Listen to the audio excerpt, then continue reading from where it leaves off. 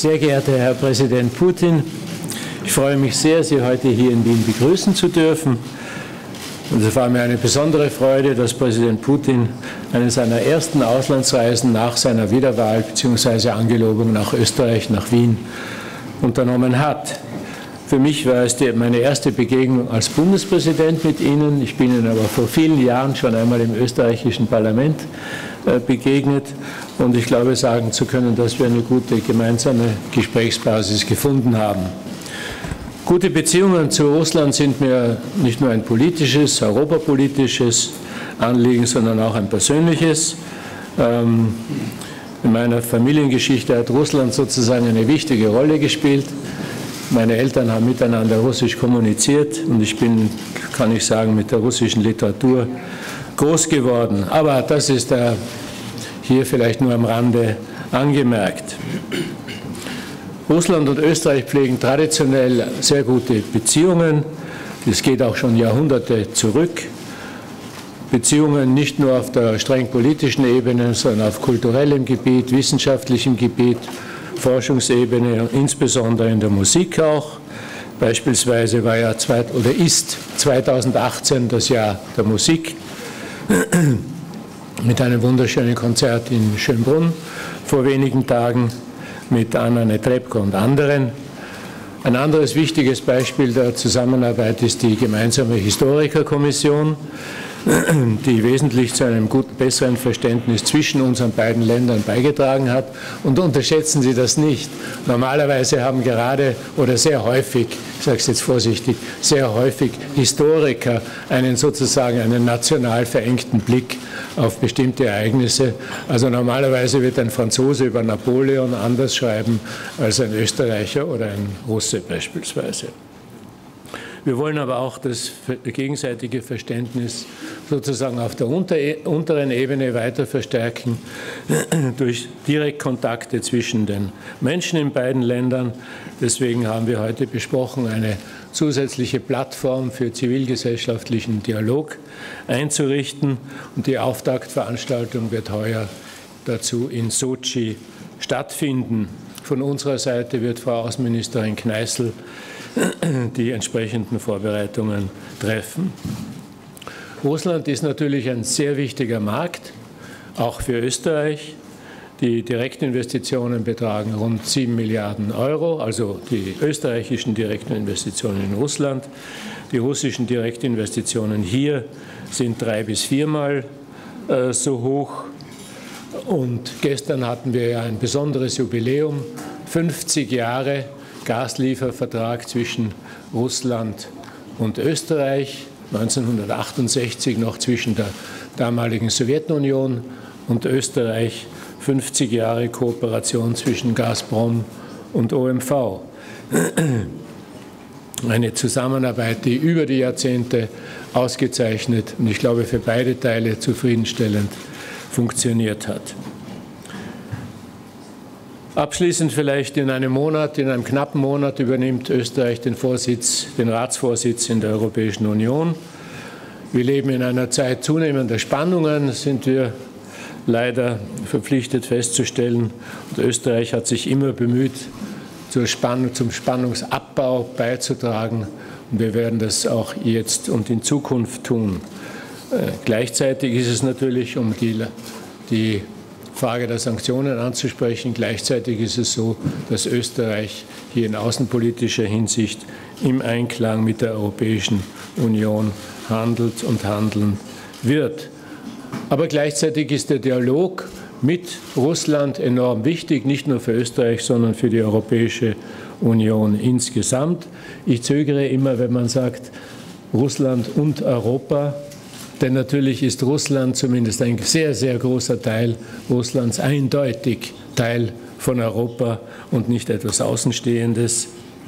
Und wir wissen alle, dass Frieden in Gesamteuropa nur mit Russland möglich ist und eine Reihe von regionalen und globalen Problemen nur unter Einbeziehung Russlands zu lösen sein ist und zu lösen sein wird.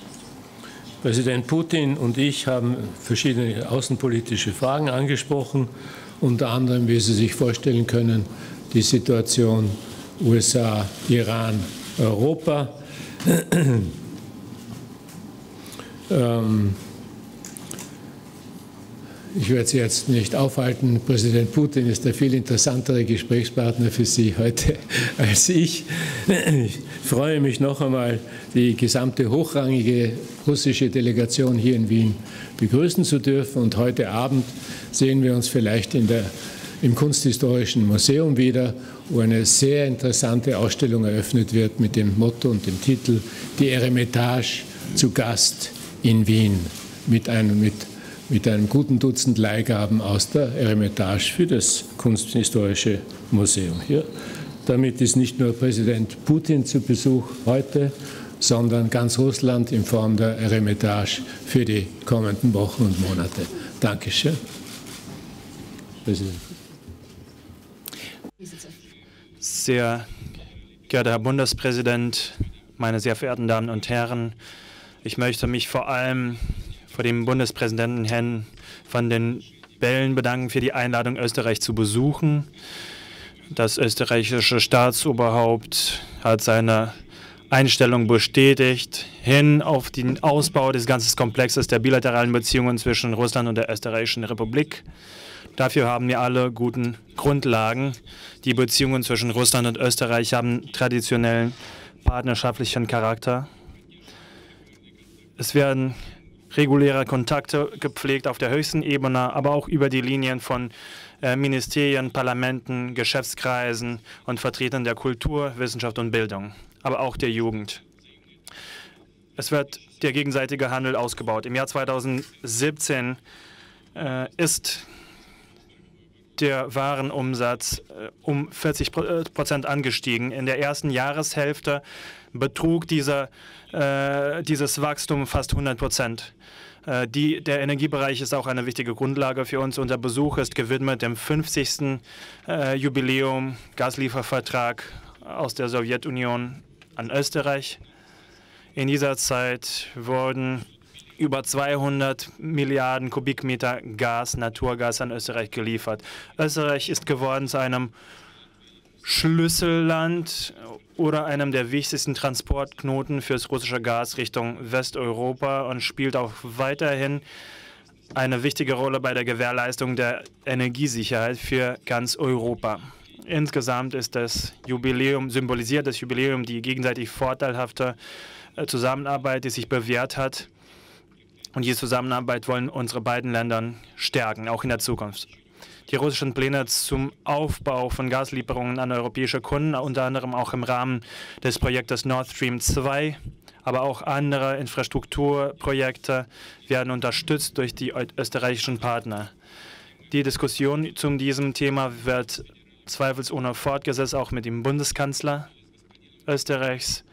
Wir haben auch angeschnitten mit Herrn van der Bellen auch die Fragen der sich dynamisch entwickelnden in den letzten Jahren kulturhumanitären Verbindungen. Wir haben es auch betont, äh, dass Kreuzveranstaltungen zu einer üblichen Praxis geworden sind.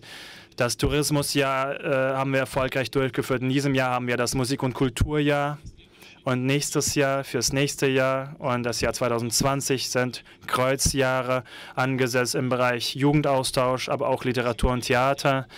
Heute haben wir gemeinsam mit unseren österreichischen Kollegen, Herr Bundespräsident hat es gerade erwähnt, werden wir hier im äh, Wiener Museum eine Ausstellung eröffnen aus der Eremitage. Wir haben uns darauf geeinigt, dass wir der Umsetzung von Plänen zur Schaffung vom russisch-österreichischen Forum in Sochi äh, beitragen.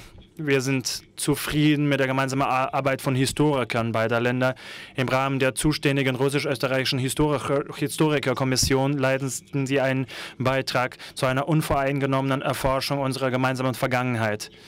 Und sie verhindern auch Versuche von Verzehrung äh, von einigen schwierigen äh, Zeitpunkten der österreichischen Geschichte. Ich möchte mich bedanken bei dem österreichischen Volk und der Regierung Österreich für die Kriegsgeberfürsorge hier und ähm, vor allem in Bezug auf die Soldaten, die dieses Land vom Faschismus befreit haben.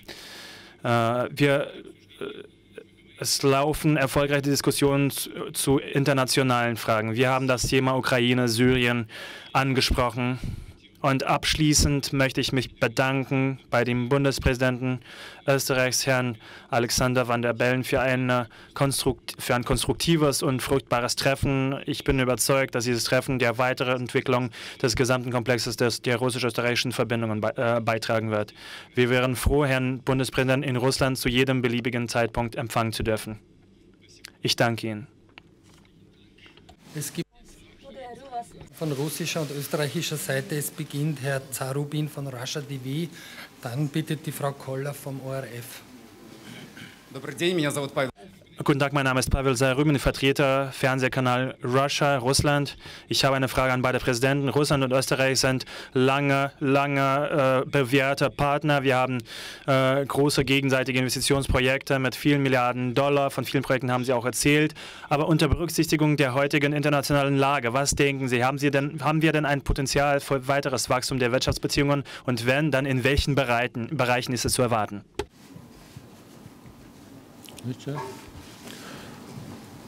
Natürlich ist da, Entschuldigung, natürlich ist da ein großes Potenzial noch vorhanden. Ähm, Russland ist ein riesiger Markt mit seinen mehr als 140 Millionen Einwohnern. Äh, auf mittlere Sicht, so wie sich der Ölpreis derzeit entwickelt, also wie sich die Energiepreise entwickeln, ist das eine gute, auch eine gute Ausgangsbasis. Ähm, und insbesondere hat mich beeindruckt, dass er nach einer wie soll ich sagen, nach einem Durchhängen, nach einer, äh, nach einer Ebbe äh, in, im Austausch, der, im, im Handelsaustausch, Handelsaustausch, Warenaustausch beziehungsweise bei den Direktinvestitionen sich in den letzten ein, zwei Jahren äh, sich das Rad wieder gedreht hat und wir enorme Wachstumsraten im beidseitigen Handel haben und ich hoffe auch äh, im, im, im, im Bereich der Direktinvestitionen.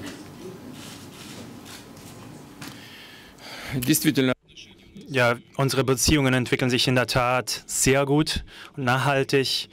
Es genügt zu sagen, dass Russland der zweitgrößte Investor in die österreichische Wirtschaft ist, äh, nach der Bundesrepublik Deutschland, wenn ich mich nicht irre. Es sind fast 25 Milliarden Dollar, die investiert worden sind in die österreichische Wirtschaft. Fast 4 Milliarden äh, haben unsere österreichischen Partner in die russische Wirtschaft investiert. Fast 500 Unternehmen, österreichische Unternehmen sind auf dem russischen Markt aktiv. Herr Bundespräsident hat gerade erwähnt, dass dies ein großer Markt ist. Über 140 Millionen Menschen, 146 Millionen Menschen, die in Russland wohnen. Äh, aber unter Berücksichtigung der Eurasischen Wirtschaftsunion äh, sind es 170 Millionen, sind auch Kasachstan und Belarus, Kirgisien, Armenien.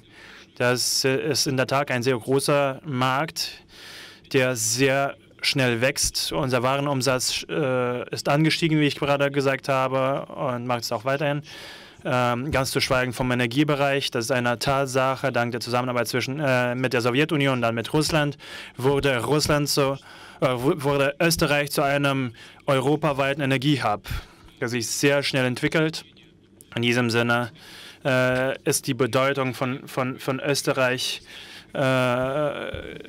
auch weiterhin sehr, sehr bedeutend und wird auch weiterhin sich stärken. Wir begrenzen nicht, auf, nicht nur auf den Energiebereich, wir haben auch Zusammenarbeit im Maschinenbau, Holzbearbeitung, äh, Transport und auch Logistikfragen. Wir haben einen Plan entwickelt zur Zusammenarbeit im Bereich der Modernisierung, Wirtschaftsmodernisierung. Wir haben auch einige äh, Richtlinien erarbeitet. erarbeitet. Das sind insgesamt 20 Bereiche. Einige Projekte sind bereits umgesetzt. Einige werden gerade realisiert. Wir haben sehr gute Perspektiven, sehr gute Aussichten. Ich bin überzeugt, dass dieses Potenzial auch realisiert wird. Ich möchte hoffen, dass unsere heutige gemeinsame Arbeit auch einen Impuls setzt für die äh, Umsetzung dieser gemeinsamen Pläne. Frau Koller vom ORF, ja. bitte. Meine Frage ist an Präsident Putin.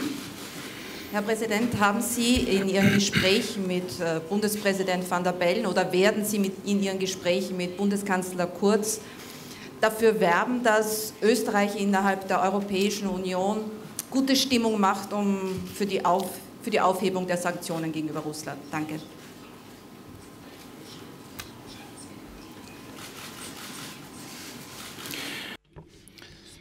Die Sanktionen alle politisch motivierten Begrenzungen, Restriktionen, Protektionismus, das alles sind äh, sehr einseitige Sachen.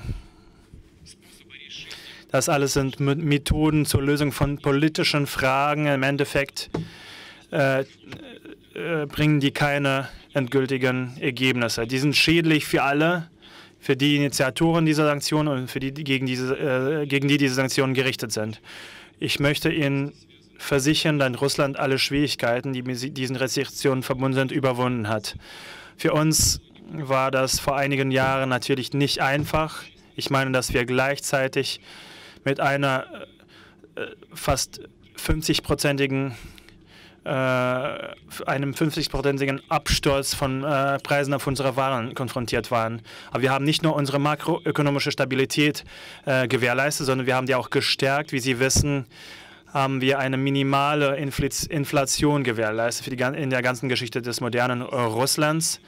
Ähm, wir haben eine minimale Arbeitslosenraten, äh, weniger als 5,5 Prozent. Äh, die Gold- und Devisenreserven werden immer wieder akkumuliert. Die, die Handelsbilanz ist positiv. Die Investitionen in das Grundkapital entwickeln sich auf dem Niveau von 4,4 Prozent.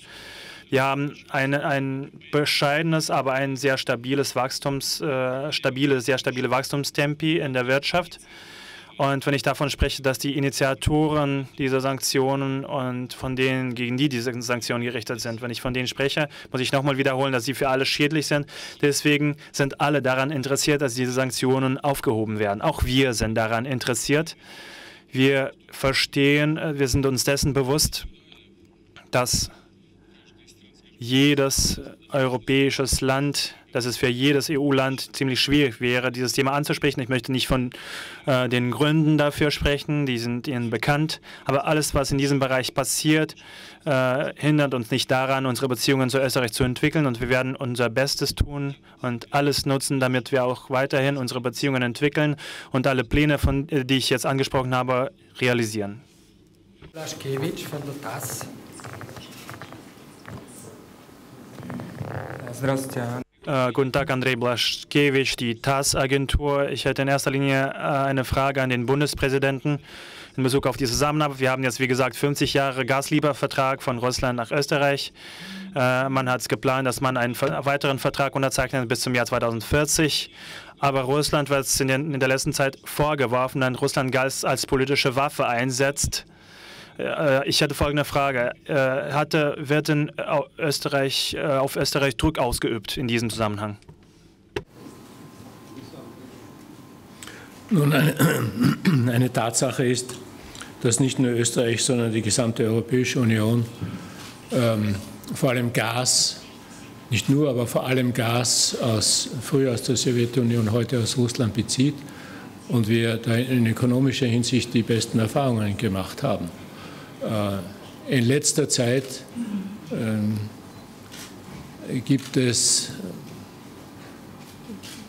sagen wir mal, ähm, den Vorhalt seitens mancher amerikanischer Politiker, dass die Abhängigkeit äh, der Europäischen Union in dieser Beziehung von Russland zu groß ist.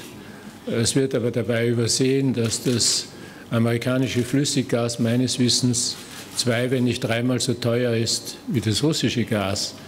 Äh, unter solchen Umständen macht es wenig Sinn, jetzt rein ökonomisch gesehen, macht es wenig Sinn, russisches Gas durch äh, amerikanisches Flüssiggas zu ersetzen. Also äh, unter diesen Bedingungen, glaube ich, ist die künftige Kooperation zwischen Gazprom und OMV auf sehr gutem Fundament gebaut. Dankeschön. Die letzte Frage, Frau Demczysin von der Austria Presseagentur. Ja, ich hätte eine Frage an beide Präsidenten. Äh, es gibt ja jetzt eine ziemliche Krise zwischen Europa und Russland oder der EU und Russland. Ähm, und es scheint, dass Russland hier auch ein Glaubwürdigkeitsproblem hat. Was würden Sie, Herr Präsident Putin, machen, um dieses Glaubwürdigkeitsproblem äh, wieder aus der Welt zu schaffen und was kann und was soll Österreich da machen, um das Vertrauen zwischen den beiden äh, Blöcken wieder herzustellen.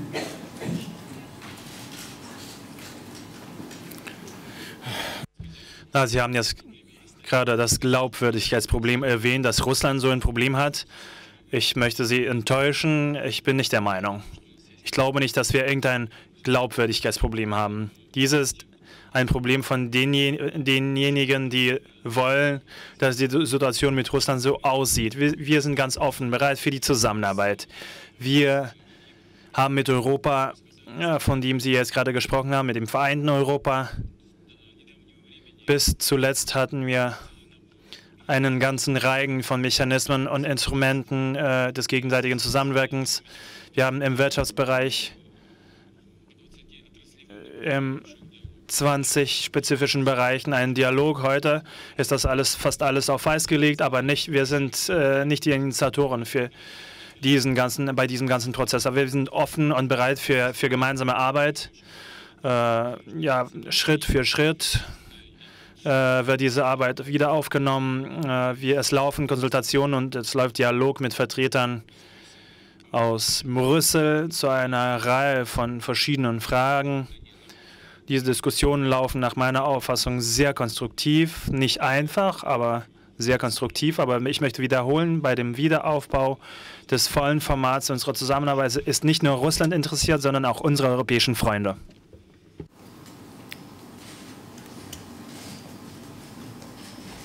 Ich habe eigentlich dem nichts hinzuzufügen. Ähm, Glaubwürdigkeitsfragen treten in der Politik immer wieder auf. Ähm, äh, das ist insofern überhaupt nichts Ungewöhnliches. Ähm, sogar zu meiner Person, Person, könnten Sie mich fragen, ob dieser oder jeder Punkt jetzt rückblickend gesehen alles glaubwürdig war. Also ich sehe hier keine spezifischen Probleme, was Russland betrifft, sondern immer die Frage der richtigen Einschätzung von Äußerungen oder Handlungen. Das ist, das ist normal, Business as usual. Ich sehe die grundsätzliche Vertrauenskrise gegenüber Russland nicht. Ich danke damit, ich danke damit sehr herzlich für den Besuch. Die Pressestatements sind zu Ende. Dankeschön fürs Kommen.